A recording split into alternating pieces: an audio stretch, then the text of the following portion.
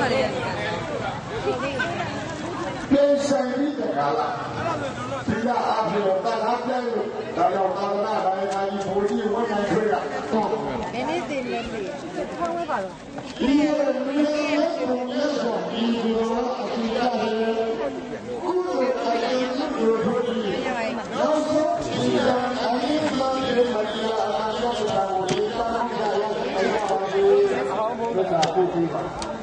¡Gracias!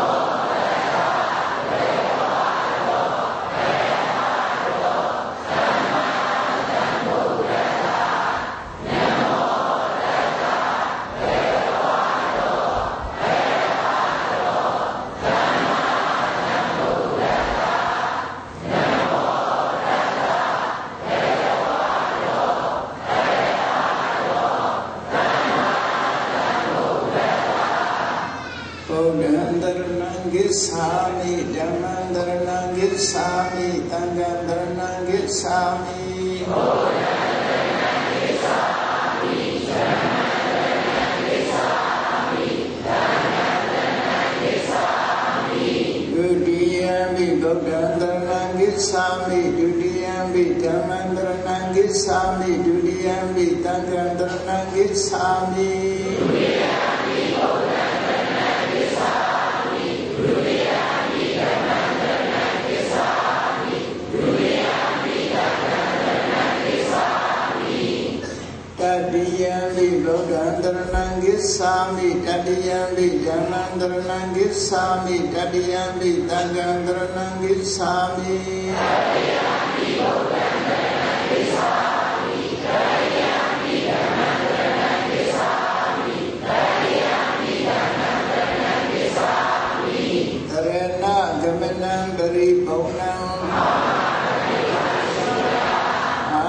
တိပါဒဝေရမဏိသိက္ခာဝရံသမာဓိယာမိအာနာတိပါဒဝေရမဏိသိက္ခာဝရံသမာဓိယာမိအာဒိနာဒါနာဝေရမဏိသိက္ခာဝရံသမာဓိယာမိအာဒိနာဒါနာဝေရမဏိသိက္ခာဝရံသမာဓိယာမိအာမေတုမိစ္ဆာစာရဝေရမဏိသိက္ခာဝရံသမာဓိယာ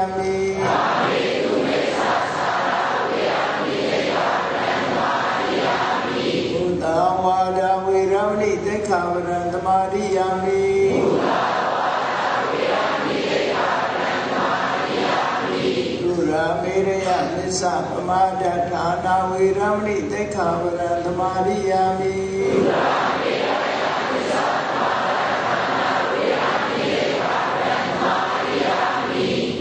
တိတရဏေနတဟယေသသီလံဓမ္မံတာရုကံကတဝါအပမဒိနတံပါတိထာ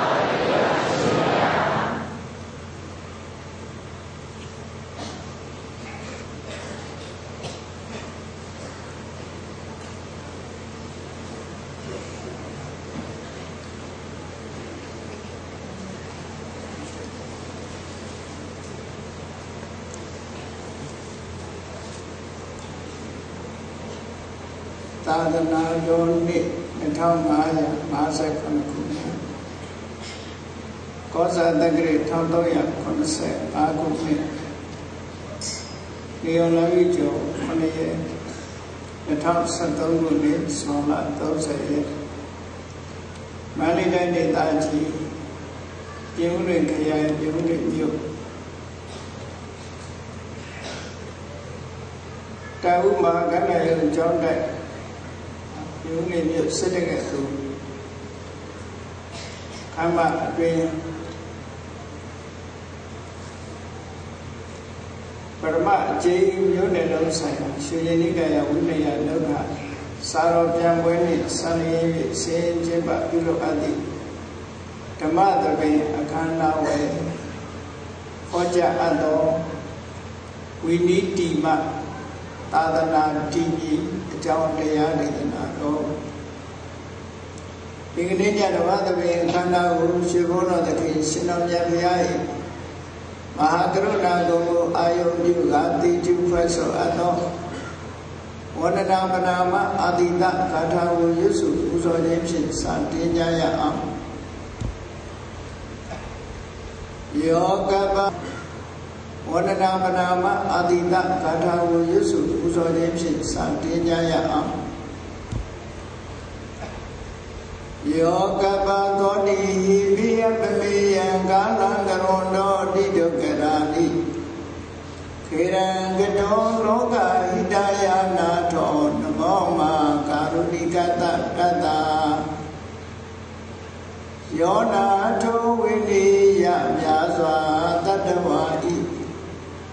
ချမ်းသာစီးပွားလူလာတောင်းတအကုန်ပေါင်းခါသည်ဖြင့် နာထအမိညာ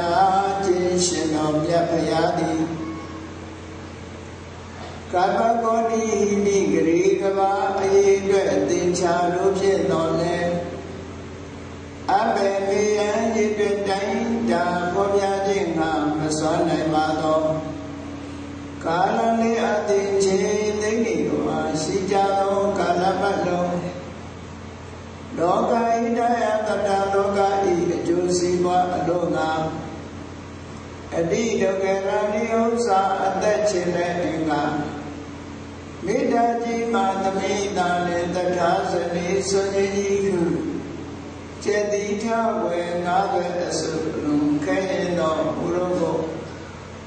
ကရောတော်ဘုရားဖြစ်ရဲ့ဤတန်ယုတ်ကိုအာထုတော်ဘုရားသည်ဖြစ်၍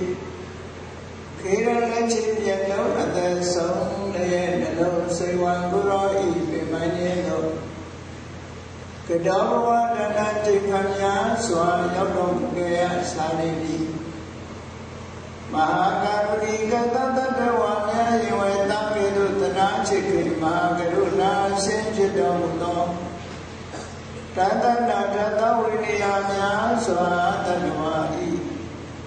ချမ်းသာစီပါလူလာတောင်းတဘုံမောင်ခါသဖြင့်နာထလိညာထုရှင်တော်မြတ်ဗျာနမောယုတိပြောင်းကြောင့်မနောလျောဝိကရောယုကျုရှိကိုခြင်းသည်အတုဝေဝေတု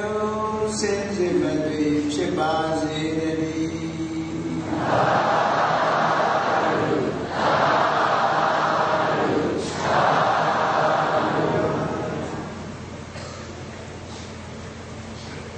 we need ဒီမှာအာရဏတိလေ ဆိုတဲ့စကားဘုရားမြတ်စွာဘုရားပြိဋိဘံစံတော်မူကြီးတဲ့နောက်ပိုင်းမှာပထမတန်ခါရဏတင်တဲ့အချိန်စတင်ပြီးတော့ယဟန္တာအရှင်မြတ်ကြီးပြောခဲ့တဲ့စကားတစ်ခုပဲဝိနေထိတိသာသနာထိတံမိမိဒီမှာသာသနာတည်တယ် ဘုရားဝတ္တဝင်သူရစင်နေနေနဲ့ဘုရားမြတ်စွာသာသနာတော်ကြီးထင်ရှားရှိနေသမျှခန္ဓာပတ်တယ်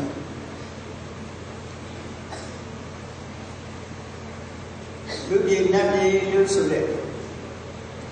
ချမ်းသာဒုက္ခရနိုင်တဲ့ဘုံကြီးနိဗ္ဗာန်လို့ဆိုတဲ့တဏှိဒုက္ခ အငြိမ့်တက်အပြည့်အဝရှိတဲ့တရားနိဗ္ဗာန်လမ်းကြောင်းမှာဘယ်တော့မှပိတ်မလွားအောင်အမြဲတမ်းပွင့်လင်းပြီးတော့နေမှာမြတ်စွာဘုရားရဲ့အဆုံးအမဆိုတာ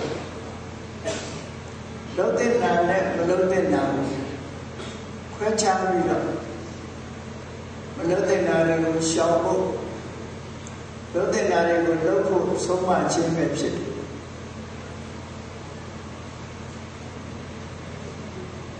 မြတ်စွာဘုရားအဆုံးအမတိုင်းလိုက်နာကျင့်သုံးရတဲ့ပုဂ္ဂိုလ်တွေဟာကောင်းကျိုးချမ်းသာတွေရနိုင်တယ်အဲ့ဒီလိုကောင်းကျိုးချမ်းသာတွေရဖို့အတွက်ကျင့်သုံးတဲ့ပုဂ္ဂိုလ်တွေရဲ့အဆင့်တန်းအားလျော်စွာမြတ်စွာဘုရားကဟောကြားဆုံးမတော်မူခဲ့တယ်မြတ်စွာဘုရားရဲ့သာသနာဆိုတာ ဘာကိုခေါ်ရလဲလို့အနိတ္တရထုတ်ပြီးတော့ကြည့်မယ်ဆိုရင်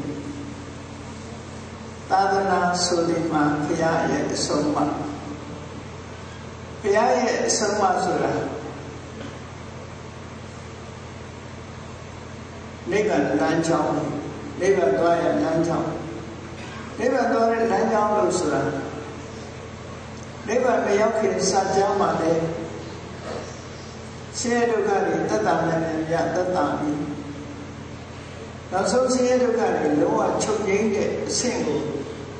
ရောက်အောင်ညွှန်ကြားဆုံးမတဲ့အဆုံးမအဲ့တော့အဓိကအနိတ္တရာအဖြစ်ပြောပါလို့ဆိုရင်သာသနာဆိုတာသီလသမာဓိပညာကိုခေါ်တယ်လို့အကျဉ်းချုပ်အဖြစ်ပြောလို့ရှိရင်ရသော်ဘုရားသီလသမာဓိပညာသာသနာ အဲ့ဒီသီလသမာဓိပညာကိုအကျဉ်းချက်ပြောလိုက်လို့ဆိုရင်မဂ္ဂင်၈ပါးမဂ္ဂင်၈ပါးကိုထပ်ပြီးကျဉ်းချက်ပြောလိုက်လို့ဆိုရင်တော့ဘောဓိပက္ခိယတရား39ပါး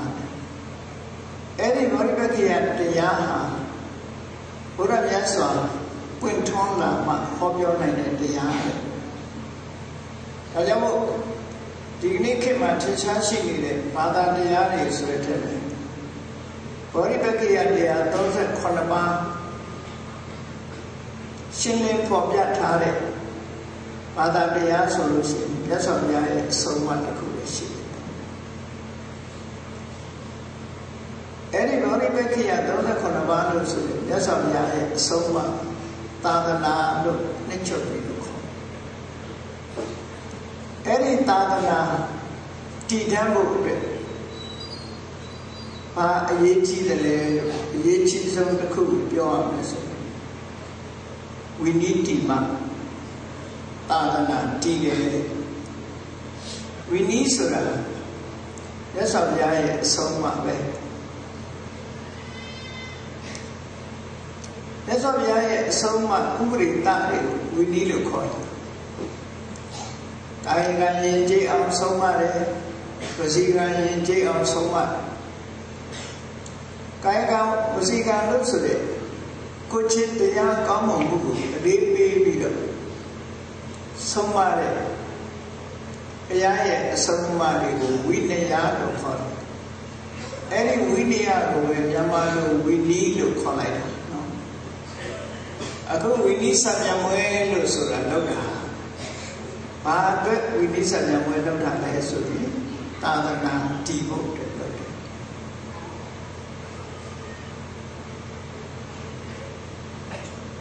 သာသနာတည်ဖို့နဲ့ဝိနည်းတည်တာနဲ့ဘယ်လိုသက်ဆိုင်တယ်လဲလို့ဆိုလို့ရှိရင်အများကြီးသက်ဆိုင်တယ်ဒီကနေ့ခေတ် လွန်ခဲ့တဲ့နှစ်ပေါင်း2600က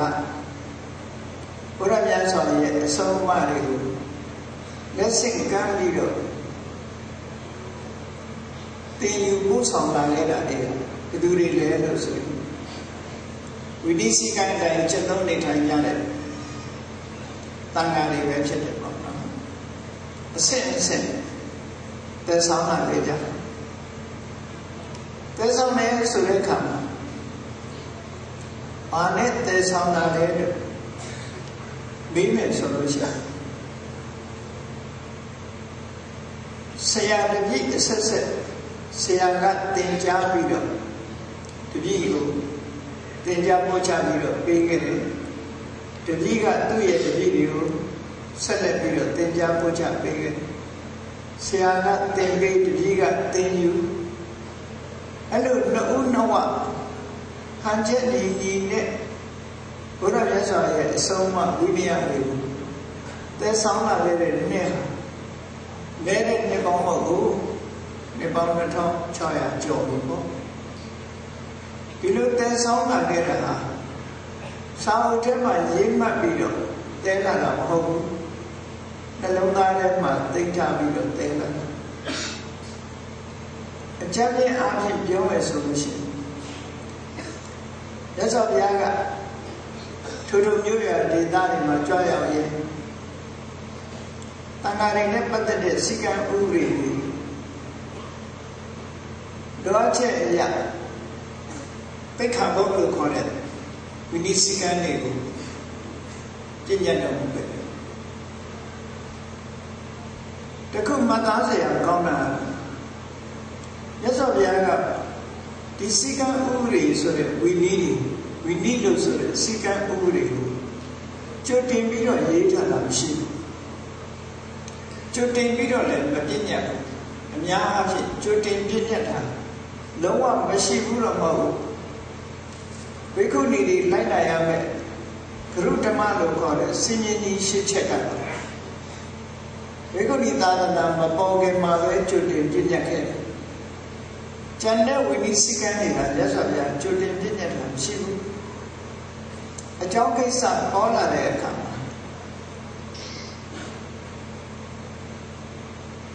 အလုံးတက္ကရာတွေကိုဆုံးသီးစေပြီးအကျိုးတဲ့အကြောင်းနဲ့ရှင်းလင်းပြသပြီးတဲ့အခါမှာဝိနည်းစည်းကမ်းဥပဒေတစ်ခုကိုထုတ်ပြန်ပြီးတော့သတ်မှတ်ပေးလိမ့်ရှိတယ်။ ဘဘာဖြစ်လို့ကြိုတင်ပြီးတော့ဝိနည်းတွေမပြည့်ညတ်တယ်လဲလို့ဆိုလို့ရှိရင်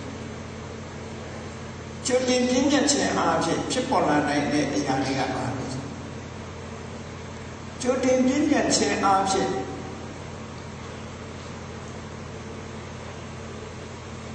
ဖြစ်ပေါ်လာမဲ့အခြေအနေတွေမပေါ်ခင်ကြိုတင်ပြည့်ညတ်ခြင်းအားဖြင့်ဒီဝိနည်းစည်းကမ်းရဲ့လိုအပ်ချက်ဟာမပေါ်လွင်မဲနဲ့ဖြစ်တယ်ပေါ့ ဥပမာရှင်းရှင်းပြောရမယ်ဆိုရင်ယောဂမပေါ်ခင်ကနေယောဂကိုကုသတယ်ဆိုတာအတိတ်ကိုရှိယောဂပေါ်လာတဲ့အခါမှာထိုယောဂကိုပြောင်းလဲအောင်ကုသထို့တူပဲတန်ခါအဖွဲ့အစည်းအတွင်းယတနာမဖြစ်သေးတဲ့မြတ်မြတ်စွာဘုရားဝိနည်းသိက္ခာကိုပြည့်ညတ်မပေးဘူး မဖြစ်ဘဲနဲ့ပြည့်ညတ်ခြင်းအားဖြင့်အပေါ်လုတ်တယ်လို့မြင်ကောင်းမြင်လာတယ်ပေါ့ဒါကြောင့်မြတ်စွာဘုရားကျွတင်ပြည့်ညတ်တာရှိဘူးကျွတင်ဥပဒေဆွဲထားခြင်းအားဖြင့်တကယ်လုတ်တဲ့အခါမှာမဖြစ်တာတွေလည်းအများကြီးရှိမဖြစ်လို့ဥပဒေခဏခဏပြင်ရတာမျိုးလည်းဖြစ်တယ်ဒါကြောင့်မို့မြတ်စွာဘုရားရဲ့စီကံဥပဒေလို့ဆိုတဲ့ဝိနည်းဟာပြစ်မှုတစ်ခုပေါ်လာပြီဆိုလို့ရှိရင် ထိုပြစ်မှုကိုကာကွယ်ဖို့နောင်မဖြစ်အောင်စောင့်ရှောက်တဲ့အနေနဲ့လက်ဆောင်ပြားကစီကံချက်တစ်ခုထားအဲ့ဒါလိုပြည့်ညတ်ခဲ့တာသိက္ခာပုဒ်တယ်အဲ့ဒါလိုပြည့်ညတ်တဲ့အခါမှာမူဆယ်ချက်ရရှိလာနိုင်တဲ့အကျိုးတရား10မျိုး အခြေခံရလာနိုင်တဲ့အကျိုးတရား10မျိုးကိုဥတည်ချက်နဲ့ရသော်ပြပြည့်တဲ့ခဲ့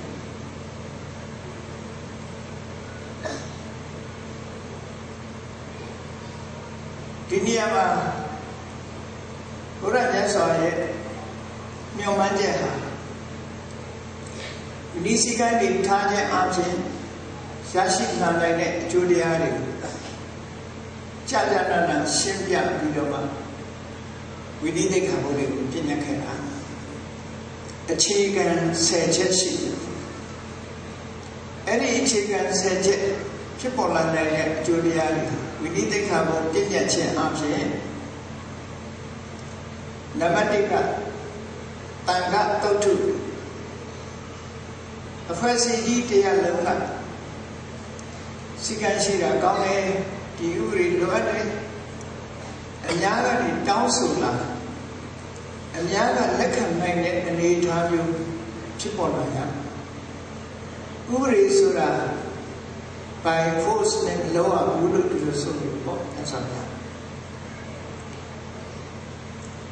တန်ခါတုတ်ထုလေတန်ခါအဖွဲ့အစည်းတစ်ခုလောကရှိတဲ့လေကောင်းပါလေဆိုတဲ့အများကနှစ်သက်တဲ့ လက်ခံတဲ့သူတွေမျိုးအဲ့ဒါမျိုးဖြစ်စေရမယ်လို့ဆိုရဲရွှေချက်ကတစ်ခုပဲနောက်ဒုတိယကတန်ခါဖာတိစိကတဲ့လုံးလိုက်တာနဲ့တပြိုင်နက်ဒီဖွဲ့စည်းကြီးထဲမှာပါဝင်တဲ့ပုဂ္ဂိုလ်တွေဟာစိကဥပဒေရနေဖို့ထိုင်ဖို့ ပြောဆိုဆွဆံဖို့ကိစ္စတွေမှာပို့ပြီးတော့လွယ်ကူပြီးတော့သွားတယ်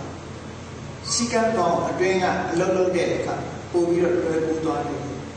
ငါကူတယ်ချုံးဝဲအဲ့ဒီအကျိုးရလဒ်ကိုလည်းဖြစ်ပေါ်စေရတယ်တတိယအချက်ကတော့ဒုံမင်ကုဏနေကဟာအဖွဲ့အစည်းတစ်ခုထဲမှာအများစုထဲမှာဒုံမင်ကုလို့ဆိုတဲ့ စီကံပြတ်တဲ့ပုဂ္ဂိုလ်မျိုးတွေကလည်းရှိတာတဲ့ကိုအဲ့ဒီစီကံပြတ်တဲ့ပုဂ္ဂိုလ်တွေကိုတော့နှိကွက်ပြီးသားဖြစ်စေရမယ်ဒီလိုဆိုစီကံပြတ်တဲ့ပုဂ္ဂိုလ်တွေကိုစီကံနဲ့တားဆီးပေးတာအဲ့ဒီတားဆီးမှုဟာရလတ်တစ်ခုပဲစီကံပြတ်တဲ့ပုဂ္ဂိုလ်တွေကိုတားဆီးပြီးဖြစ်တယ်လို့စတုဒ္ဓအချက်ဖြစ်ပေါ်လာတာ ဥပဒေဆိုတာ by force နဲ့လောအဘူးလို့ဒီလိုဆိုလို့ပေါ့အဆောင်ရတန်ခါတုတ်ထုတယ်တန်ခါဖွဲ့စည်းကြီးတစ်ခုလုံးကရှိတဲ့နေကောင်းပါလေဆိုတဲ့အများကနှစ်သက်တဲ့လက်ခံတဲ့ဥပဒေမျိုးအဲ့ဒါမျိုးဖြစ်စေရမယ်လို့ဆိုတဲ့ရွှေချက်ကတစ်ခု နောက်ဒုတိယကတန်ခါဖာတုစိကတ်ချက်လုံးလိုက်တာနဲ့တကယ်နဲ့ဒီဖွဲ့စည်းကြီးထဲမှာပါဝင်တဲ့ပုဂ္ဂိုလ်တွေဟာစိကတ်ဥပဒေရနေဖို့ထိုင်ဖို့ပြောဆိုဆွဆံဖို့ကိစ္စတွေမှာပို့ပြီးတော့လွယ်ကူပြီးတော့သွားတယ်စိကတ်ကောင်အတွင်းကအလုံးလုံးတဲ့အခါပို့ပြီးတော့လွယ်ကူသွားတယ် လွယ်ကူတယ်ချုံးဝဲအဲ့ဒီအကျိုးရလဒ်ကိုလည်းဖြစ်ပေါ်စေရတယ်တတိယအချက်ကတော့ဒုမိကုဏနေကဟာအဖွဲ့အစည်းတစ်ခုထဲမှာအများစုထဲမှာဒုမိကုလို့ဆိုတဲ့စိကံပြတ်တဲ့ပုဂ္ဂိုလ်မျိုးတွေကလည်းရှိလာတတ်တယ်ဟုတ်အဲ့ဒီစိကံပြတ်တဲ့ပုဂ္ဂိုလ်တွေကိုတော့ နှိကွက်ပြီးသားဖြစ်စေရမယ်ဒီလိုဆိုစိကံပြတ်တဲ့ပုဂ္ဂိုလ်တွေကိုစိကံနဲ့တားဆီးပေးတာအဲ့ဒီတားဆီးမှုဟာရလတ်တစ်ခုပဲစိကံဖြစ်တဲ့ပုဂ္ဂိုလ်တွေကိုတားဆီးပြီးဖြစ်တယ်လို့စတုထအချက်ကျတော့ပေတလနံဒုက္ခမောဟစိကံကိုမျက်နှိုးတယ်ပေတလဆို ဘယ်နေရာမှာပဲဖြစ်ဖြစ်စိနဲ့ကံနဲ့နေတာကောင်းတယ်ဥပဒေတိုင်းလိုက်တာကောင်းတယ်ဥပဒေမချိုးဖောက်ရဥပဒေစည်းကမ်းနဲ့ညီရမယ်ဥပဒေတိုင်းလိုက်တာဆောင်ရွက်ရမယ်လို့ဥပဒေစည်းကမ်းကိုချင့်မြတ်လို့တဲ့ပုဂ္ဂိုလ်တွေကိုပေတလလို့ခေါ်တယ်အဲ့ဒီပေတလဆိုတဲ့စည်းကမ်းရှိတာကိုကြိုက်တဲ့လူတော်လူကောင်းတွေလည်းသူတို့ကိုလည်းအားပေးပြီးသားဖြစ်သွားတယ်ဥပဒေပြညတ်လိုက်တဲ့ဖြစ်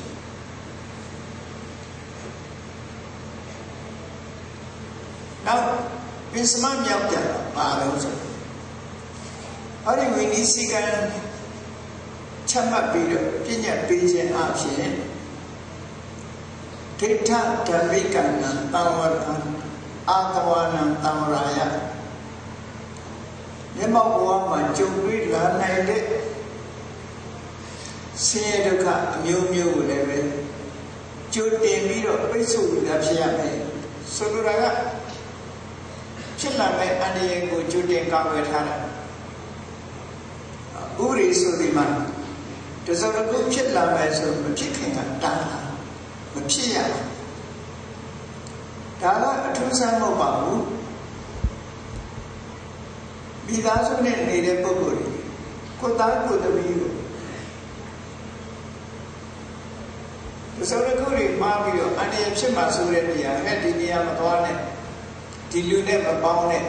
ဆိုတာတွေပြောရတာပဲလေအဲ့ဒီသဘောပဲသွားမယ်ပေါင်းမယ်ဆိုလို့ရှိရင်မလိုလားအပ်တဲ့ဟာတွေဖြစ်လာတတ်တာဟုတ်အဲ့ဒီမလိုလားအပ်မဲ့အရာတွေဖြစ်မလာအောင်ကျွတ်တင်ပိတ်ဆို့ထားတာဖြစ်ပေါ်လာမယ့်နဲ့ပြဿနာတွေကိုကျွတ်တင်ပြီးတော့ပိတ်ဆို့ထားဖို့ဒီလိုဆိုဟောတော့ စัจจယောက်ကဘာလို့ဆိုတမ္ပရာယိကနာအာတဝနာပဟနာယပဋိကတာတမ္ပရာယိကဆိုခုမဖြစ်သေးဘူးနောက်မှာဖြစ်လာနိုင်မယ်နောက်မှာရောက်လာလို့ရှိရင်ဒုက္ခတွေရောက်နိုင်မယ်ကိုယ့်ချစ်တရားဖြစ်ပြတဲ့ပုဂ္ဂိုလ်ဟာအခုလောလောဆယ်မဖြစ်သေးဘူး နောက်အချိန်ကြီးဖြစ်လာတဲ့အခါကိုချစ်တရားပြတ်ပါမှုရဲ့ဓာတ်တွေကိုခံရနိုင်တယ်အဲ့ဒီခံရမယ်ဆိုတဲ့အခြေအနေဆိုးတွေကိုလည်းမဖြစ်ပေါ်ဖို့ကျွတ်တင်တားဆီးထားတာဟုတ်ဥပဒေစည်းကမ်းတစ်ခုပါအန္တမကောင်းတဲ့ရည်ရွယ်ချက်တွေသက်သာဘုရားရဲ့ဝိနည်းစည်းကမ်းဆိုအန္တမမှတ်သားစရာကောင်းဟုတ်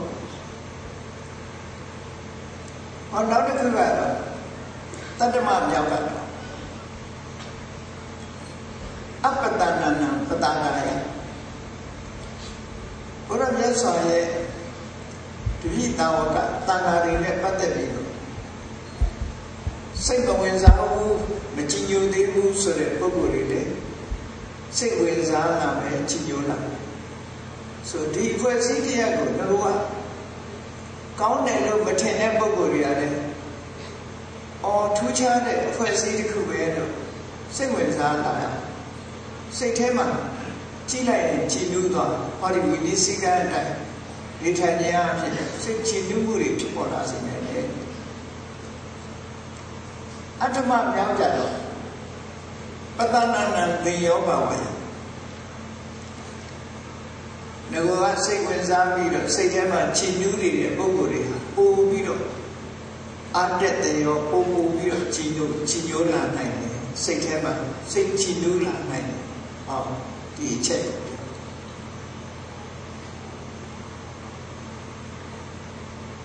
နဝမအချက်ကဒါလဲဝိနည်းဒုက္ခယမြတ်စွာဘုရားကမိမိတဏ္ဍမှာဒါတွေမဖြစ်စေရဘူးဖယ်ရှားရမယ်မကောင်းတဲ့အစိတ် အတွေ့တွေကိုတဏ္ဍမှာမဖြစ်စေရဘူးမကောင်းတဲ့သဘာဝတရားတွေကိုတဏ္ဍကဖယ်ရှားပြရမယ်နှိပ်ကွက်ရမယ်လို့ဆုံးမထားတဲ့အဆုံးအမတွေနဲ့ပတ်သက်လို့လည်းပဲဟောဒီစီကံဥတွေထားခြင်းအဖြစ်အဲ့ဒီဝိနည်းလို့ဆိုတယ်ဆုံးမတွေထောက်ကူဖြစ်သွားမယ် ရသော်ဘုရားရဲ့ဖယ်ရှားရမယ်ဆိုတဲ့အဆုံးအမတွေထောက်ကူဖြစ်ပြီးသားဖြစ်တယ်နောက်ဆုံးတသမမြောက်ကတော့တတ္တမထိတိယတတ္တမလို့ဆိုတာမကံတဲ့သဘာဝတရားသို့မဟုတ်သူတော်ကောင်းများလိုက်မှကျင့်သုံးတဲ့တရားသို့မဟုတ်မြတ်စွာဘုရားသခင်ကိုရောမြတ်ချမှတ်ထားတဲ့သင်ယူခြင်းကျင့်သုံးခြင်း လက်တွေ့သိမြင်ခြင်းလို့ဆိုတယ်ဒီသာသနာတော်၃ရက်ပရိယပฏิပတ်ပฏิဝေဒလို့ဆိုတယ်ဒီသာသနာတော်၃ရက်လောကအလယ်မှာတည်ထက်နေမှုအတွက်ထောက်ကူဖြစ်တယ်။ဟောရသော်ဘုရားပြည့်ညတ်တဲ့ဝိနည်းသိက္ခာဘုရားအဲ့ဒါလိုအကျိုးပြုဖို့အတွက်ရသော်ဘုရားဒီအကျိုးဆယ်မျိုးဖြစ်ပေါ်လာနိုင်တဲ့အ ကျိုးတူဆယ်မျိုးကိုပေါ်ပေါက်လာစေနိုင်တဲ့ဝိနည်းသိက္ခာဘုရားကိုရသော်ဘုရားကဉာဏ်တန်ခါတော်တွေအတွင်းမှာအချိန်ခါအားလျော်စွာဟောလာတဲ့အပြည့်အနာစာတွေဖယ်ရှားဖို့ရမိသိက္ခာဘုရားပြညတ်လာခဲ့တယ်ဘယ်လောက်ထိအောင်ရှိတော့ဆိုလို့ရှိရင်ညာတမာတွေ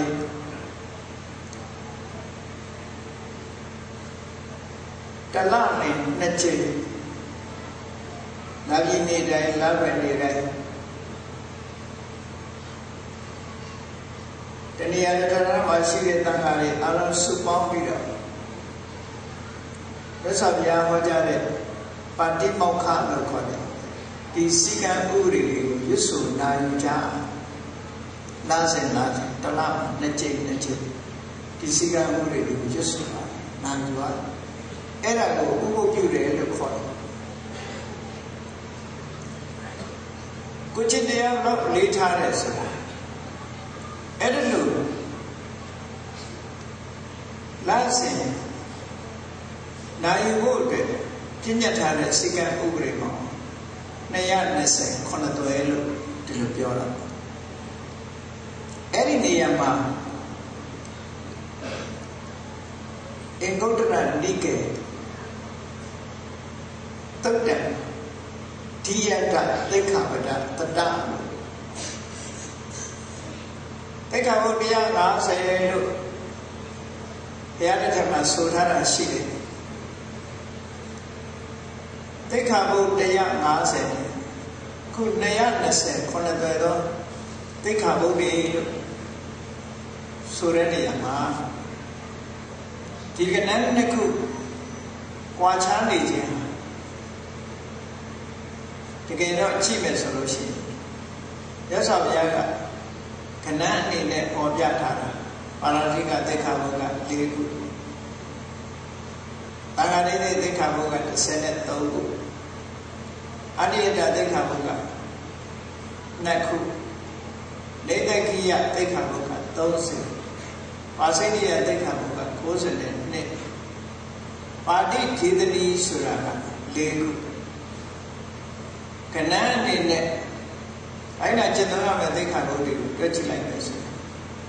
140ကျော်ရှိတယ်အဲ့ဒါကိုရည်ညွှန်းပြီးတော့ပြောတာလို့ယူမယ်ဆိုလို့ရှိရင်ရဟန်းတော်တွေจิตသုံးနေရတဲ့သိက္ခာပုဒ်တွေအခုပြောခဲ့တဲ့အရေးအတွက်နဲ့ပေါ်ပြတာလည်းဆိုအဗ္ဗဓမ္မနိစ္စတယ်ပေါ့အဗ္ဗဓမ္မနိစ္စတယ်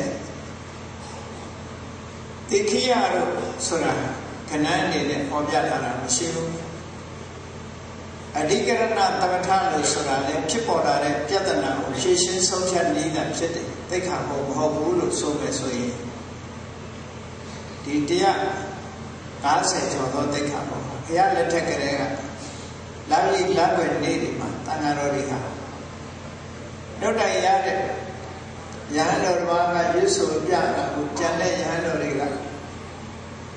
အလေးနဲ့ထားနာယူမှတ်သားပြီးအဲ့ဒီဥပဒေနဲ့ပတ်သက်ပြီးဝိနည်းဥပဒေနဲ့ပတ်သက်ပြီးညီစွန်းနေတာရှိမယ်ဆိုလို့ရှိရင်အဲ့ဒီညီစွန်းနေတဲ့ဥပဒေရတန်ဃာတွေစုပြီးတဲ့အချိန်မှာလှုပ်ထုံးလုပ်ပြီးကုစားနည်းအတိုင်းထိုအပြစ်အာဘများကိုနောင်ရှောင်ကျင်ခြင်းဖြစ်ဖြစ်ပြောကြဂ တိဝန်ခံခြင်းဖြစ်ဖြစ်ပြောအောင်ပြဿနာတစ်ခုကိုဂတိဝန်ခံပြီးတော့နောက်ရှောင်တာဟာအဖြေတစ်ခုပဲအဲ့တော့ဘုန်းကြီးတွေအဘဖြေတယ်အဘဖြေတယ်ဆိုတာဟာဒီအပြစ်တွေကလုံးဝခွင့်လွတ်ကျွတ်လွတ်စေလို့ပြောတာမဟုတ်ဘူးသဘောအပြည့်ပြောမယ်ဆိုလို့ရှိရင်ပြစ်မှုကျူးလွန်ထားတဲ့ပုဂ္ဂိုလ်တရားမှာ ဒီပြစ်မှုကျူးလွန်ခြင်းကြောင့်ဖြစ်ပေါ်လာတဲ့အပြစ်ကရှိနေမှာပဲဒါနဲ့အဘဖြေခြင်းဖြစ်ဘယ်လိုရလတ်တွေရှိတယ်လဲလို့ဆိုလောကမှာလည်းရှိတယ်လေကိုတခုအမှားလုပ်ပြီလို့ရှိရင်ဟုတ်တယ်ဘောဓာလုပ်ပြီပါတယ်ဝန်ခံပါနောက်မဖြစ်စေရပါဘူးလို့ဆိုရင်ဟောနှုတ်နှောကြည်အေးသွားတာ ဘုန်းကြီးတွေအဘဖြေတယ်ဆိုတာအဲ့ဒီအတိတ်ပဲမျိုးပဲနော်ပတိညာတကရဏလို့ခေါ်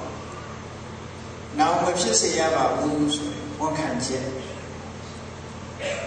ဒီချိန်တခါမမရင်းလုံးမိတာတွေဟုတ်ပါလေလုံးမိပါနောင်မဖြစ်စေရပါဘူးဆိုတာဟာဒါနဲ့ပတ်သက်ပြီးတော့ပြဿနာနောက်ထပ်မတက်နိုင်အောင်တားဆီးတဲ့သဘောလာဖြစ်တယ် ဒီဖြစ်လုံးဝပြောက်ွယ်သွားတာမဟုတ်ဘူးလို့ပြောလို့ပါတယ်အဲ့ဒါကိုမြတ်စွာဘုရားဟောထားတဲ့သုတ်တန်တစ်ခုနဲ့မှတ်သားမယ်ဆိုရင်လုံတုံးကဖြစ်တဲ့အပြစ်လုံပြီးတဲ့နောက်မှာတဘူဘူနဲ့ဆွေရင်တော့ကရောက်နေတဲ့အပြစ်လို့ဆိုပြီးတော့နှစ်ခုရှိတယ်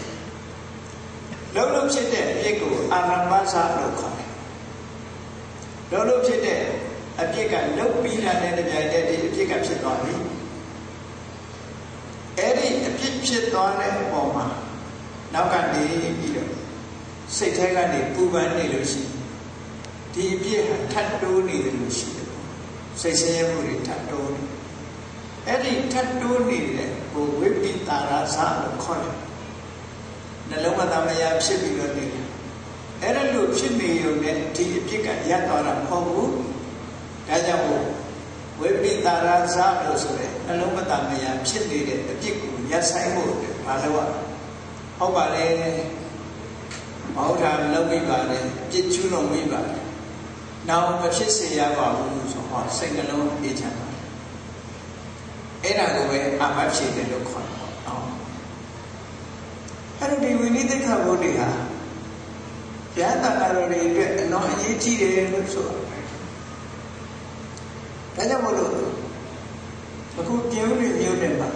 ရှိကြတဲ့ရွှေကျင်လေးကရတာတန်ခါတွေစုပေါင်းပြီးတယ်ဝိနည်းတိမှသာသနာတည်တာဖြစ်လို့သာသနာတည်ဖို့အတွက်ဒီဝိနည်းတရားဟာဘုရားမအရေးကြီးတယ်မျိုးဆက်သစ်ဖြစ်တဲ့ရှင်ငယ်ရဟန်းငယ်ငယ်လေးတွေရဲ့ရှင်တဲ့နှလုံးထဲကိုဒီဝိနည်းတွေရောက်သွားမှ ရောက်သွားပြီးတော့လိုက်နာจิตသုံးနိုင်မှမသိလို့ရှိရင်တော့ဘယ်လိုမှจิตသုံးမှာမဟုတ်ဘူးသိထားရင်တော့จิตသုံးတဲ့ပုဂ္ဂိုလ်ဆိုတာပေါ်လာမှာပဲဒါကြောင့်မို့ဝိနည်းတရားတွေသူတို့ရဲ့ရှင်တဲ့နှလုံးထဲပထမရောက်အောင်ရောက်လာပြီးတော့จิตသုံးလိုက်နာထအောင်လို့ဆိုတဲ့ရည်ရွယ်ချက်နဲ့အခုဝိနည်းစာတဲ့ပွဲဆိုတာကျင့်ပါတာဖြစ် အဲ့တော့အပိကုညီကြတဲ့တရားတော်ဝါတွေအနေနဲ့ဟောတို့တို့တဲ့လုပ်ငန်းရဲ့တို့အပိကုညီတဲ့လုပ်ငန်းသာသနာတော်အတွက်မှာဘလောက်အရေးကြီးတယ်ဆိုတာဒါလည်းသိဖို့လိုတာနော်ရေးကြီးတယ်ဘာဖြစ်လို့အရေးကြီးဖွဲ့စည်းတစ်ခုမှာဥပဒေဟာအရေးကြီးဥပဒေရှင်းတန်းနေမှဒီဖွဲ့စည်းတစ်ခုရဲ့တိုးတက်မှုဆိုတာဖြစ်နိုင်ဥ ပဒေရှင်းတန်းမှုမရှိရင်ဖွဲ့စည်းတစ်ခုတိုးတက်မှုဆိုတာဖြစ်နိုင်ဘူးဒါကြောင့်အခုဝိနည်းစာပြန်တယ်ဆိုတာတစ်ဖက်ကပြောမယ်ဆိုလို့ရှိရင်ခရဥပဒေတော်ကိုရွတ်ဆိုတယ်ပွဲတယ်ဥပဒေကိုမသိဘူးလို့ပြောလို့မရရအောင်လိုက်တာတော့မလိုက်တာကတက္ကတာနံပါတ်1သိဖို့တော့ သာသနာ့ဘဝဝင်နေတဲ့ပုဂ္ဂိုလ်တွေပုဂ္ဂိုလ်တွေရသော်များရဲ့ဥပဒေသိရသိထားမှလိုက်နာခြင်းစိတ်ပေါက်ပြီးတော့လိုက်နာမသိလို့လိုက်မနာဘူးမသိလို့လုပ်မိတာပါလို့ပြောရင်ဥပဒေကဖတ်မလို့ဖူးဆိုတာရှိတယ်လေဒါကြောင့်ဥပဒေနဲ့ပတ်သက်ပြီးတော့သိအောင်ဝိနည်းစာပြန်လဲဆိုတာဘုရားဥပဒေတော်ကြီးကိုရွတ်ဖတ်တဲ့ပွဲပဲရွတ်ဆိုတဲ့ပွဲပဲလို့ဒီလိုမှတ်တာနော် အဲ့ဒါမှအရေးကြီးတယ်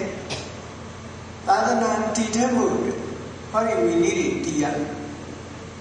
ကဲသာသနာတည်တယ်လို့ဆိုတဲ့နေရာ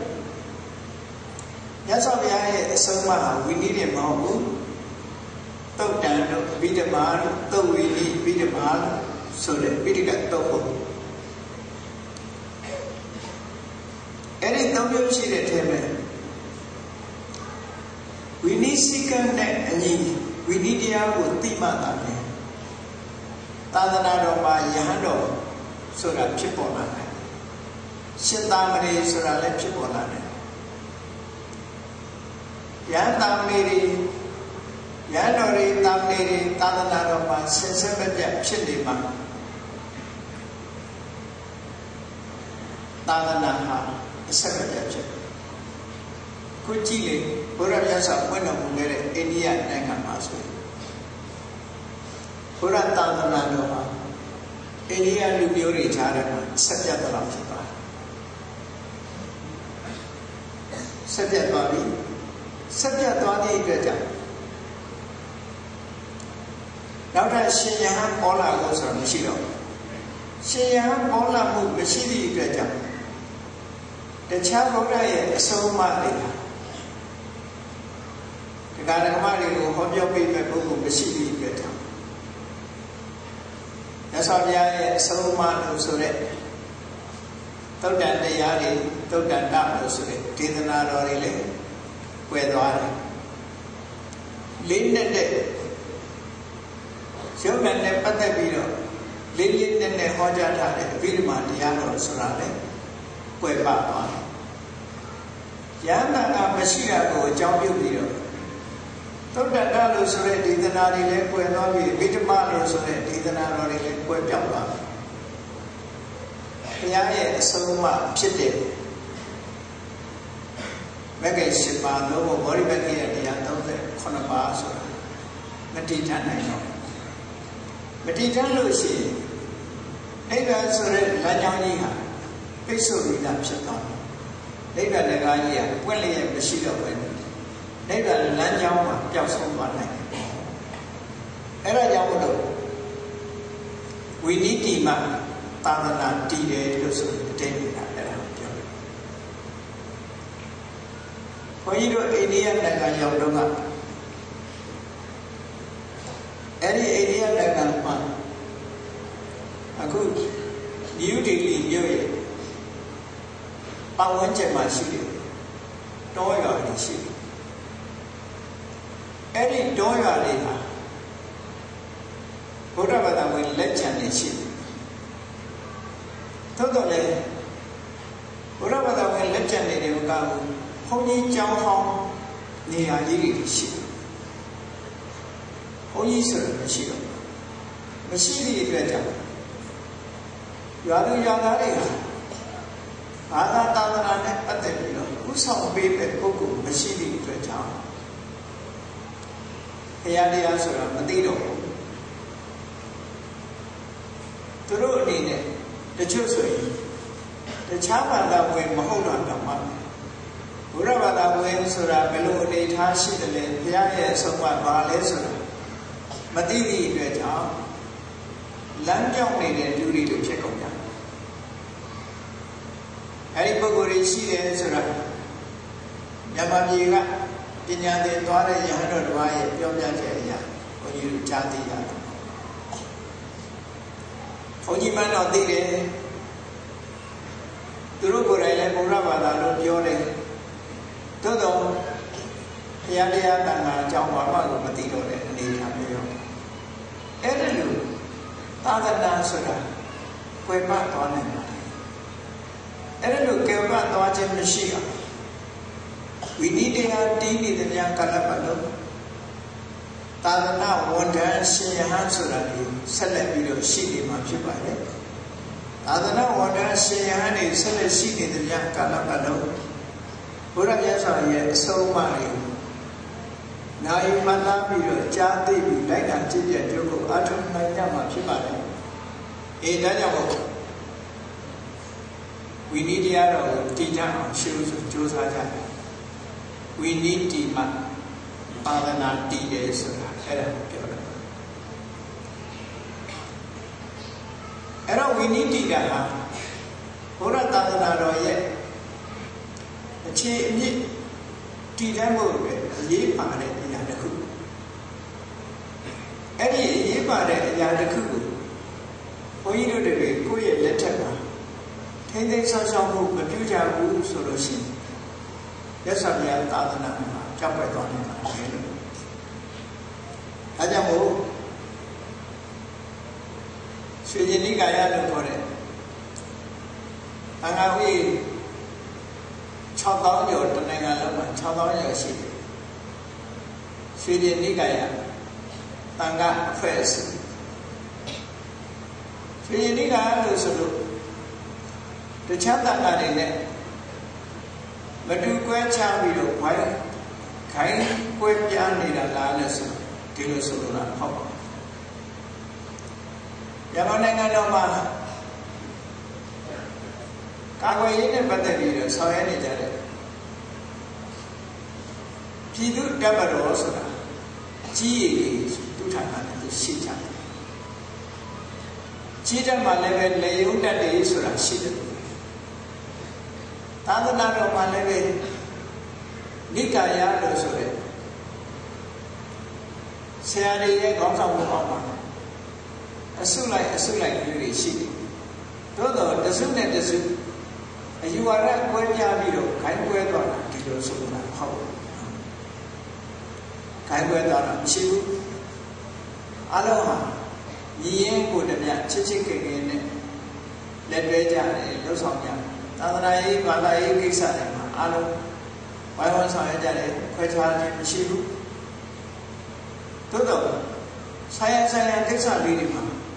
မိမိတို့ဆရာစင်ဆက်အရာစီစီလုံးလုံးနဲ့ပြုလုပ်ကြတာရှိတယ်ပေါ့အဲ့ဒီမှာအခုမြန်မာနိုင်ငံမှာရှိတဲ့တန်ခါတွေထဲမှာ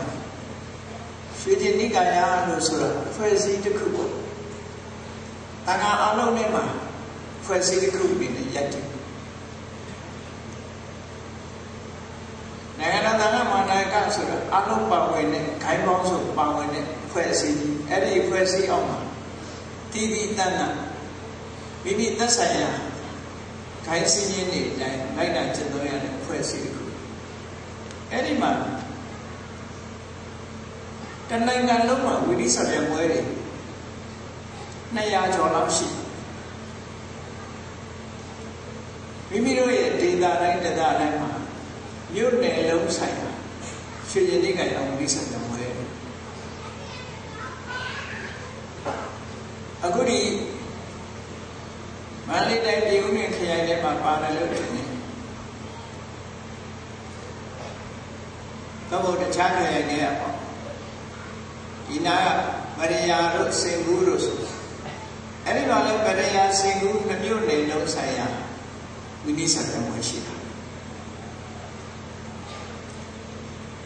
စကိုင်းကိုကြည့်လိုက်မယ်ဆိုရင်စကိုင်းမြို့နယ်မှာလည်းဝိလိဆက်တယ်ပွဲနှစ်ခုရှိတယ်။ဟိုကျောင်းဆယ်တို့ဘာလို့ကြည့်လို့ရှိရင်ကျောင်းဆယ်မြို့နယ်လုံးဆိုင်ရာဝိလိဆက်တယ်ပွဲရှိတယ်။အောက်ရန်ကုန်မှာဆိုတာလည်းရှိတယ်မန္တလေးမှာလည်းရှိတယ် ဝိနည်းဆံရပွဲတွေအနေနဲ့ရရမှာကျင့်ပါကြတယ်ဆရာတော်ကြီးများရဲ့အဆုံးမဩဝါဒကိုနာခံမသားပြီးတော့မိမိတို့ဒေသမှာတာဝန်ရှိတဲ့ပုဂ္ဂိုလ်များမလုံမနေရဆိုတာမျိုးမဟုတ်ပဲနဲ့လုံးသိတဲ့အလုပ်တစ်ခုအနေနဲ့လုပ်ကြအားတက်တဲ့ရောလုံးသိတဲ့သာသနာတော်တည်တံ့ရေး ဝိနည်းစာပြန်ပွဲကြီးတွေလုပ်တယ်ဝိနည်းစာပြန်ပွဲတွေလုပ်မှဝိနည်းတရားတော်ဟာလူငယ်လူငယ်တွေရဲ့လက်ထဲမှာနှလုံးသားထဲကိန်းအောင်ပြီးရှင်ကောင်းရဟန်းကောင်းလေးတွေဖြစ်တယ်ရှင်ကောင်းရဟန်းကောင်းဖြစ်မှသာသနာတော်ကိုထိန်းသိမ်းဆောက်ရှောက်နိုင်မှာဖြစ်တယ်ဒီလိုအကျိုးဆက်တွေကိုမျှော်ပိုးပြီးတော့အခုလိုဝိနည်းစာပြန်ပွဲလုပ်တယ်ခုပြင်ဦးနယ်မှာတော့ဒါပထမဆုံးအချိန်လုပ်တယ်ခေါ်တယ်အဲကြောင့်မို့ ဘုရားမြတ်စွာသာသနာတော်ကိုချီးကျူးမြတ်လို့ကြတယ်တရားဓမ္မတွေအနေနဲ့လည်းဝိနည်းတရားတော်ဟာဘလောက်အရေးပါတယ်ဆိုတာကိုသိဖို့တယ်ဘုန်းကြီးတွေကဟောပြောလို့ဖြစ်ပါတယ်အဲ့ဒီလိုမသိလို့ရှိရင်ဝိနည်းဆရာဝဲလုပ်တယ်ဆိုတာတာမန်ဆရာဝဲတစ်ခုလို့စိတ်ထဲမှာအောင်းနေကောင်းအောင်တယ်သာသနာတော်တည်တံ့ဖို့အရေးကြီးတယ်တနည်းအားဖြင့်ပြောမယ်ဆိုရင်ဘု ရားမြတ်စွာပြည့်ညတ်ခဲ့တဲ့ဘုရားရဲ့ဥပရိတော်ကြီးတွေမပြောင်းမပြည့်လိုက်တာจิตသုံးနိုင်ဖို့အတွက်ရှင်ငယ်ရဟန်းငယ်လေးတွေရဲ့နှလုံးသားထဲမှာဟောဒီဝိနည်းတရားတွေတည်အောင်လှုပ်ဆောင်ပေးတဲ့ပွဲမှုဝိနည်းစံပွဲလို့ဒီလိုခေါ်တာပေါ့အဲ့ဒါမှအရေးကြီးတယ်အေးဝိနည်းတရားတော့တည်ရှိနေခြင်းဖြစ် သာသနာတော်ကိုကိုးကွယ်ကြတဲ့တရားတော်တွေပုံမှာဘယ်လိုအကျိုးသက်ရောက်မှုရှိတယ်လဲဝိနည်းတရားတော်ထွန်းကားခြင်းဖြစ်သာသနာတော်မှာတန်ခါကောင်းယဟန်ကောင်းရှင်ကောင်းတွေပေါ်ထွန်းလာယဟန်ကောင်းရှင်ကောင်းတွေကိုကိုးကွယ်ရတယ်ကြည်ညိုစိတ်ကရတဲ့ဖြင့်ထိုယဟန်ကောင်းရှင်ကောင်းတွေက ဆုံးမဩဝါဒပေးတဲ့ဆုံးမဖြတ်ရသော်ဘုရားရဲ့တရားတော်တွေထိုပုဂ္ဂိုလ်တွေထံမှာဈာနာခွင့်ရတာဟာတရားတော်ဝါတွေကိုထူးခြားတဲ့အခွင့်အရေးကြီးတစ်ခုပဲ။ဘာဖြစ်လို့လဲဆိုတော့မိမိတို့ကိုယ်တိုင်ဟာကရာဝါသောတမ္မာရောလို့ဆိုရတဲ့အိမ်မှုကိစ္စတွေမအမလရှိနေရတဲ့အခါရသော်ဘုရားရဲ့အဆုံးအမကိုယ်တိုင်သိယူခွင့်ဆိုတာဓမ္မခရင်နေပေါ့ ခွင့်လန်းရဖို့ခရင်အဲ့ဒီလိုသိယူခွင့်မရတဲ့အခါဈာနာခွင့်လေးတော့ရဟန္တာမာလေးစီကရတယ်ဆိုတဲ့ဒီအခွင့်အရေးတစ်ခုကြီးမားတဲ့အခွင့်အရေးတစ်ခုပဲဟောနောက်တစ်ခုကအခုလိုဝိနည်းစည်းကမ်းတွေနဲ့အနေ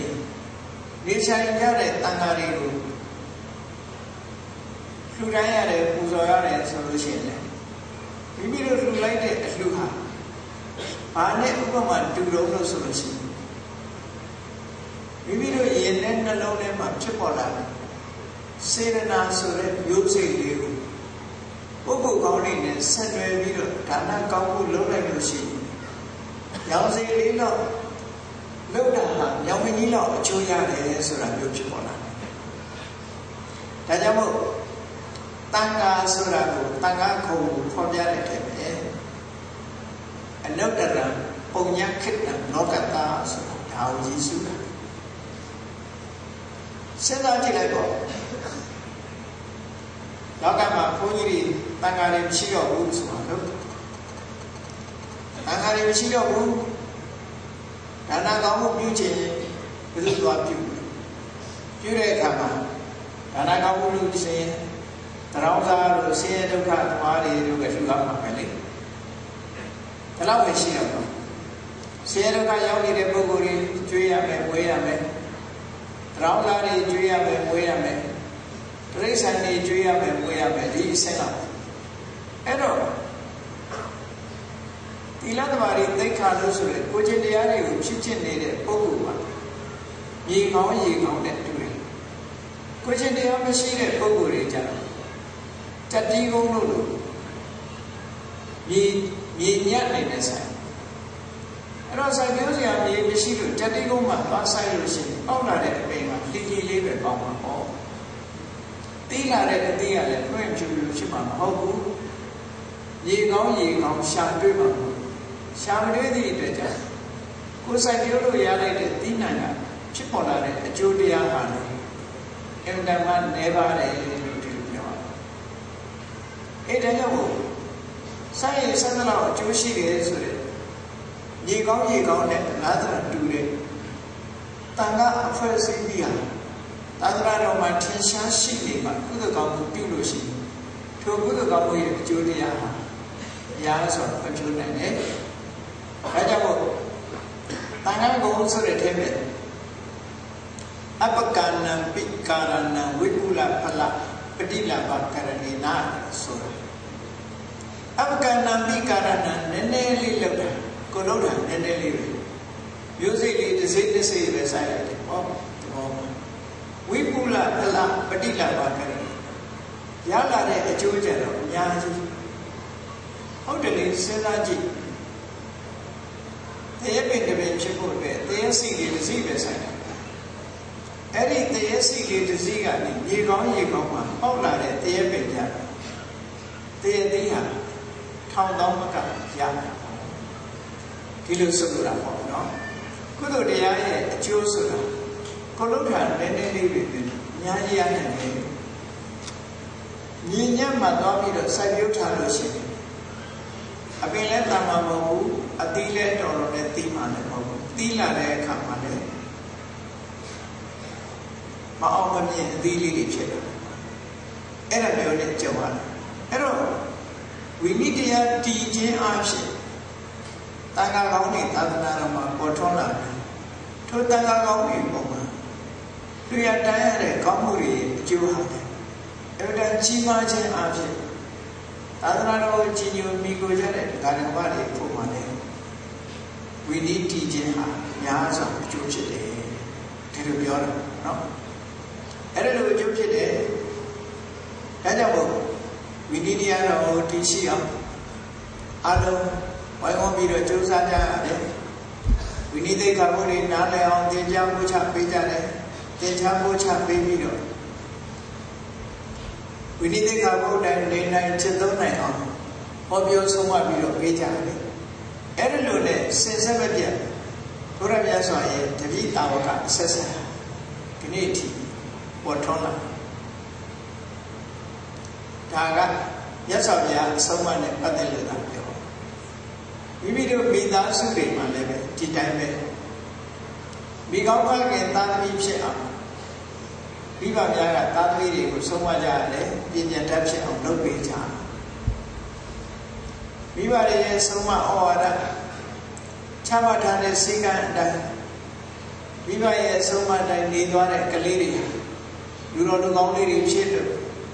တိုင်းပြည်ကိုအကျိုးပြုနိုင်တဲ့ပုဂ္ဂိုလ်တွေဖြစ်လို့တန်ဖိုးရှိတဲ့ပုဂ္ဂိုလ်တွေဖြစ်လာအေးဒါကြောင့်မို့ဒီနိစ္စပြန်တယ်ဆိုတာဥပဒေကိုရွတ်ဆိုခြင်းပဲဖြစ်တယ်ဥပဒေသားတွေနားလည်လို့ဥပဒေတိုင်းနေထိုင်ကျင့်သုံးသွားပြီဆိုလို့ရှိရင်ဒီဖွဲ့စည်းကြီးတရားဟာကြာရှိစွာတည်တတ်နိုင်တယ်လို့ဒီလိုဆိုတာပါဒါဖြင့်တို့ကြောင့်အနေနဲ့ နေထိုင်ကြတဲ့တရားတော်ဘာတွေကရောသာသနာအတွက်အရေးကြီးတဲ့ပုဂ္ဂိုလ်တွေမဖြစ်ဘူးလားလို့ဆိုမြတ်စွာဘုရားဟောထားတဲ့ထဲပဲမြတ်စွာဘုရားကသာသနာတော်ကိုဘယ်ပုဂ္ဂိုလ်တွေပေါ်မှာထားပစ်ခဲ့တယ်ဆုံးပါသာသနာတည်ထအောင်ဘုသူပေါ်မှာ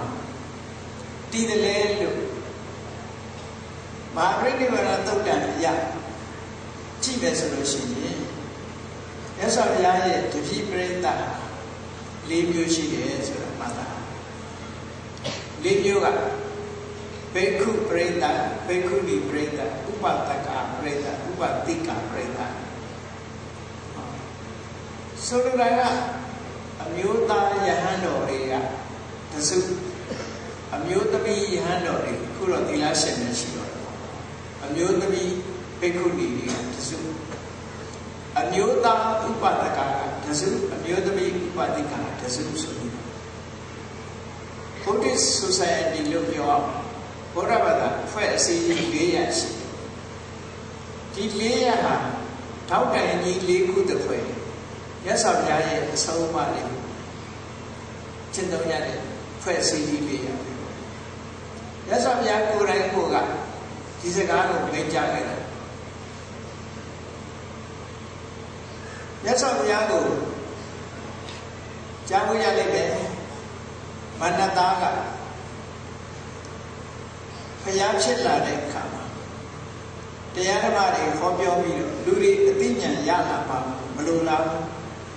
မလိုလားတဲ့အတွက်ကြောင့်ရှင်ဘုရားကိုသိတဲ့တရားကိုယ့်ဟာကိုယ်ထားဘယ်သူမှမဟောပါနဲ့နောက်ဆုံးမှာအငြိမ့်ကြဖြစ်တဲ့နိဗ္ဗာန် ဆိုင်ယူပါလို့ဒီလိုလာပြီးရှောက်တဲ့အချိန်မှာမြတ်စွာဘုရားကမိန့်ကြားတဲ့စကားလေးအမှန်တမ်းတတိတာရကအနေနဲ့ထင်ရှားတယ်ပေါ့မြတ်စွာဘုရားကဘယ်လိုမိန့်ကြားလဲလို့ဆိုရင်ငါရဲ့တပည့်တာဝကဖြစ်တဲ့အမျိုးသားယဟန်တော်တွေ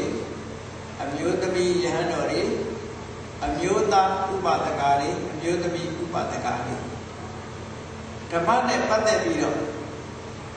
ကြာကြာနာနာလေ့ကျင့်သင်ကြားထားတာမရှိသေးသမျှငါပြိဋိဘံမဆန်နိုင်ဘူးလို့ပြောတာဒါတခေါက်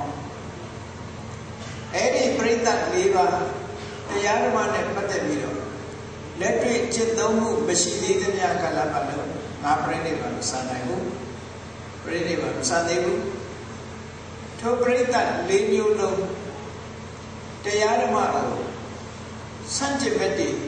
ဖြစ်ပေါ်လာတဲ့အခါမှာဖြည့်ရှင်းဆုံးဖြတ်နိုင်တဲ့အရေးချင်းတွေမရသေးတဲ့ပြငါပြည့်နေတော့မစမ်းဘူး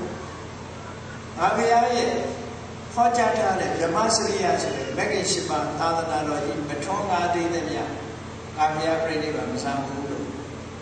ဟောတယ်လို့ပြောထားတဲ့စကားထဲမှာလေးမျိုးလုံးကိုဖော်ပြထားတယ်ယဟန်တော်တွေကြီးပဲမဟုတ်ဘူးအမျိုးသားယဟန် အမျိုးသမီးယဟန်အမျိုးသားဥပါဒကအမျိုးသမီးဥပါဒကဒီပရိသတ်၄မျိုးစလုံးတရားတော်နဲ့ပတ်သက်ပြီးတော့ဘုဒ္ဓကရှိတဲ့ပုဂ္ဂိုလ်တွေဖြစ်ဖို့လိုတယ်တဲ့မိမိတို့သိယူမှတ်သားဖို့လိုအပ်တယ်သိယူမှတ်သားထားတဲ့အတိုင်းလက်နဲ့လက်တွေ့ကျင့်သုံးတဲ့ပုဂ္ဂိုလ်တွေဖြစ်ဖို့လိုတယ်လက်တွေ့ကျင့်သုံးနေထားတာဖြစ်ရမယ်ဖြစ်ပေါ်လာတဲ့ဘု ရားရဲ့အဆုံးအမနဲ့ဆန့်ကျင်ဘက်တွေရှိလို့ရှိရင်လည်းအဲ့ဒီဆန့်ကျင်ဘက်အယူအဆတွေကိုတွန်းလှန်ဖယ်ရှားပြီးတော့အမှန်တရားကိုထွန်းကားအောင်ပြောနိုင်တဲ့အရေးချင်းတွေရှိရမယ်။ရသော်ဘုရားရဲ့အဆုံးအမသာသနာတော်ကြီးဟာအဆုံးအမတရားတော်ကြီးဟာကဘာအနှံ့လူသားတွေရဲ့ချားမှာပြတ်နှံ့ပြီးသားဖြစ်ရမယ်လို့ဟောဒီရည်ရွယ်ချက်ကြီးရှိတယ်။ဟုတ်တယ်ဆို အဲ့ဒီရည်ရွယ်ချက်ပြည့်မီအောင်အတွက်ဘုန်းကြီးတို့တွေ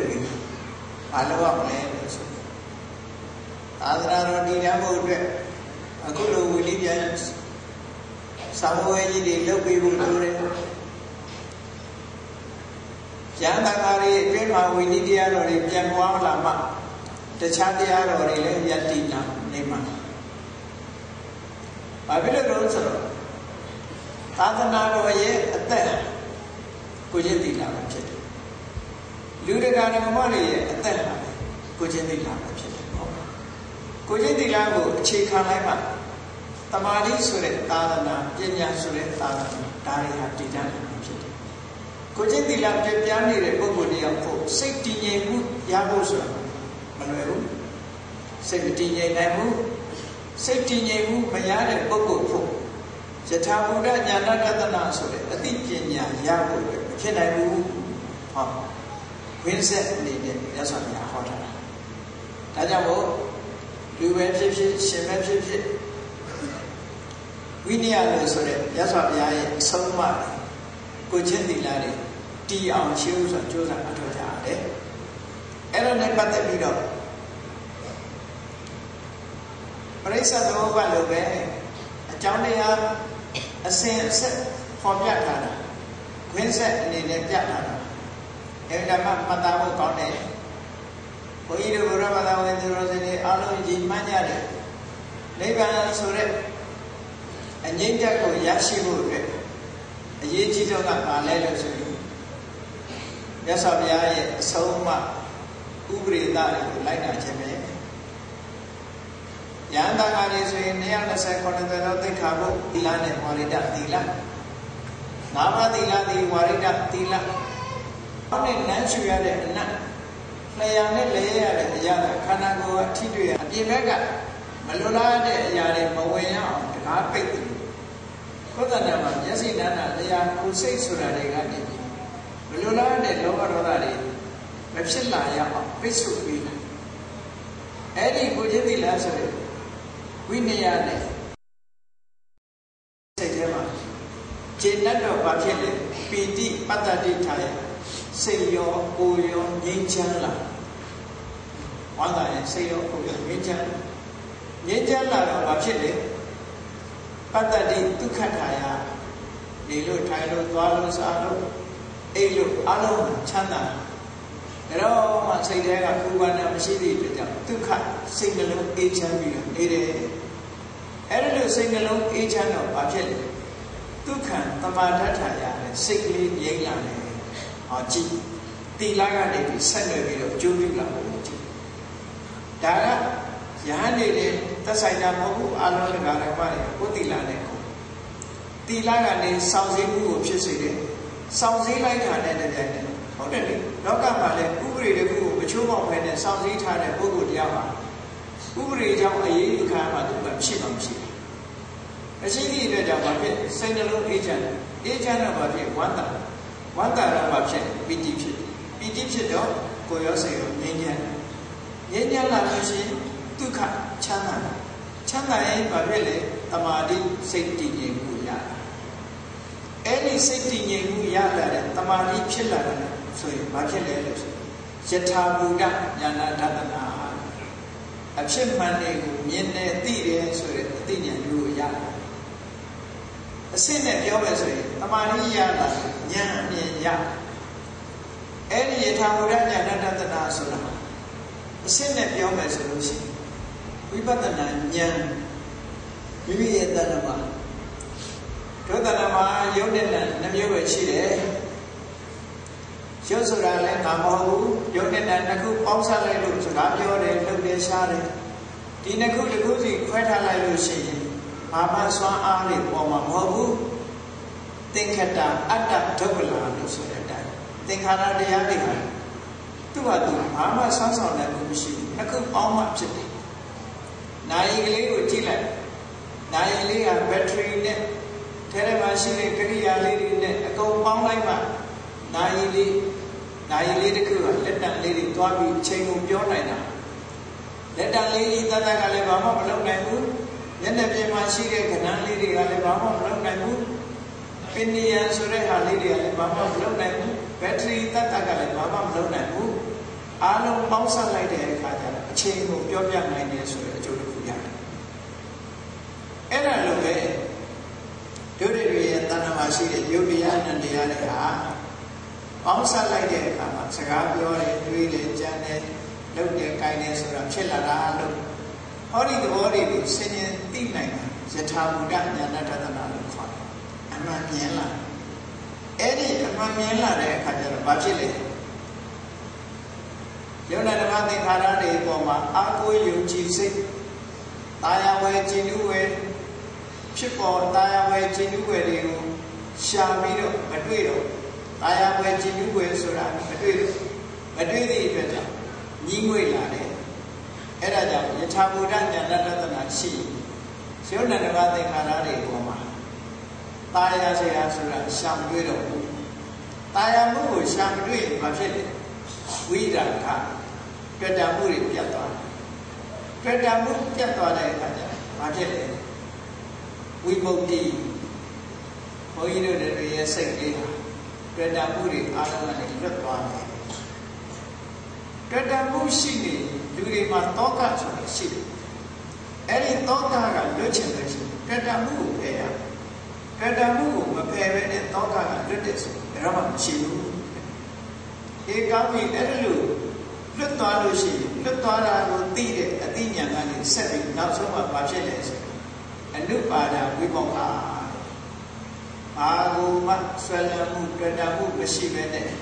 တကယ်လွတ်မြောက်မှုဆိုတဲ့နိဗ္ဗာန်ချမ်းသာထိအောင်ရတ္တပဲရတ္တဖို့ချမ်းသာထိအောင် ရောက်ရှိသွားနိုင်တယ်ဒါဟာဘုရားအဆုံးအမလို့ဆိုတဲ့ဝိနည်းဆိုတဲ့ဝိနည်းသိက္ခာပုဒ်ကနေဆက်ပြီးတော့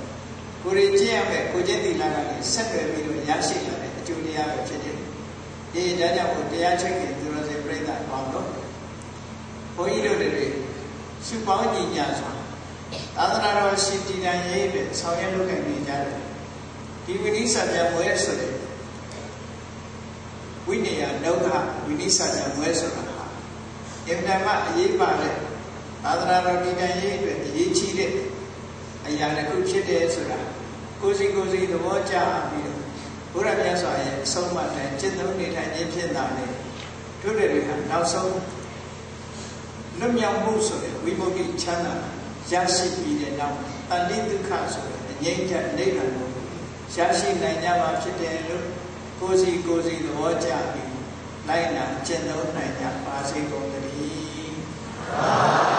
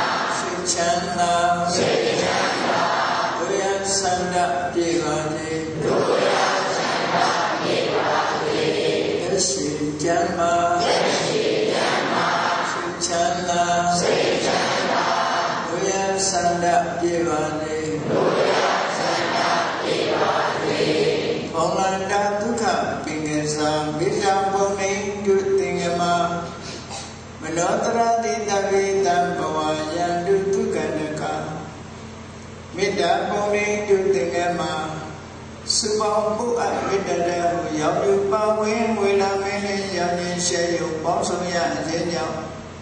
တဝေတံကျွမဲ့ဩတုံလုံးစုံများသောတတ္တဝါတို့၏မနောတရတိမြင်များဖြူစင်အကြည်လင်းသည့်ရေစင်ပြည့်တင်းစေကလုံးဒီဟုသောလေအိုင်ကြီးအတွင်၌ဒုက္ခပေရာစင်ထာဝရဣဒจิตာတာယာပွင့်လန်းချမ်းသာဒုက္ခဒီဟုသောကုဘုဒ္ဒရာကြာပန်တို့သည်ဘုံလန္တဝန္တာရွှေမြူဝုံဘုံလူလျက်ကြည်လူဝဲကျုပ်ဖုပွင့်ညအကုန်ပြီးဖြစ်၍ဒုက္ခနကလေးအောင်လေး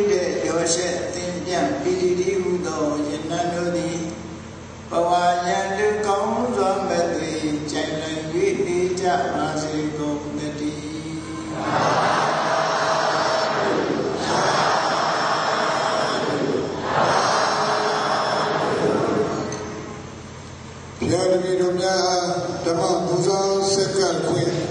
ခွင့်ပြုပြီးတော့ဘုရားဖျားပြီးတော့များယုံကြည်စွာလျောက်တာအပ်ပါလေဗျာဓမ္မပူဇော်များဆက်ကပ်လူများများအတွက်ဓမ္မပူဇော်အလူငွေများအားသာသနာဒါယကာကြီးကိုကျော်ဝင်းမဆရာတော်ဖျားကြီးကိုစားလက်ခံပြီးပါရလေးများစွာပြန်မတကပြောပါရခင်ဗျာ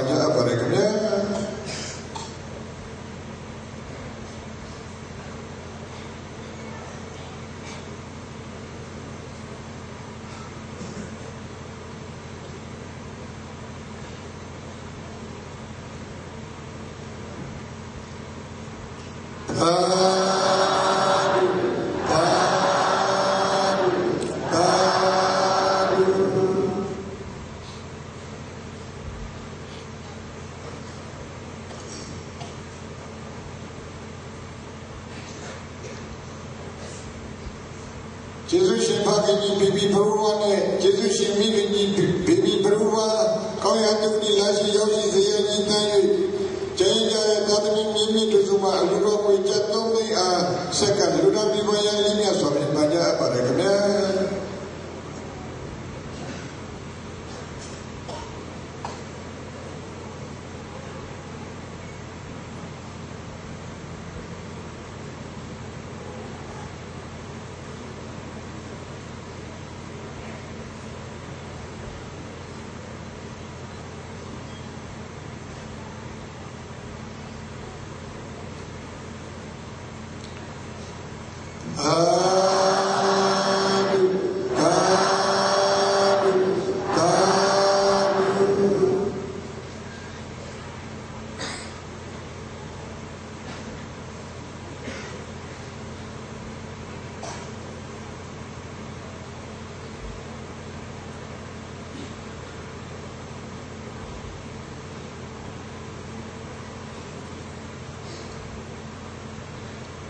കടലിഞ്ഞു വന്നു കഴിഞ്ഞാല് കറങ്ങാൻ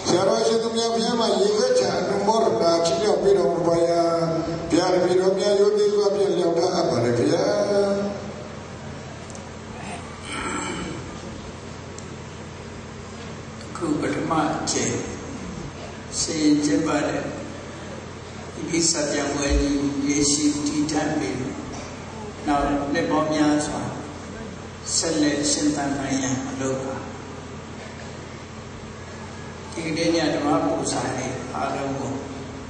ဝိနည်းတရားတော်ကိုပူဇော်ကြရအောင်ဒီကနေ့ဒီကနေ့မှာအများအားလုံးထပ်ဆင့်ပြီးတော့ဒီနေ့ညတရားကိုပူဇော်တာတစ်ခုနောက်ဝိနည်းသာသနာတော်ကိုပူဇော်ပြီးတော့ဝိနည်းစာကြောင့်ဝဲတည်ရှင်းရှင်းတည်တံ့ရဲ့အတွက်စတုပိစရာအနေနဲ့အဝိဝေဒပဲဆိုင်ရပြီးတော့ ဒီနေ့တရားတော်ဒီနေ့ဆရာမွေးကြီးကိုကြည်ကြပ်ပြီးတော့စီရင်ကျင်းပကြတဲ့ဆရာတော်တန်ဃာတော်များချီးမွမ်းဖို့ချုပ်ပြီးကပိယရကရမများထံခုလိုအားလုံးဒီနေ့ဝိနည်းသာသနာတော်ဒီတိုင်းရေးအတွက်ဓမ္မကုသများကိုထူထားပေးပါအားလုံးအတော်မှန်တမ်းရှိအောင်လိုက်ပြီးဆုံးလိုက်ကြပါ အရှင်ဘုရားအရှင်ဘုရားဗျာဒိတော်တို့သည်ဗျာဒိတော်တို့သည်ဓမ္မအတိညာဓမ္မအတိညာရရှိမှသာလျှင်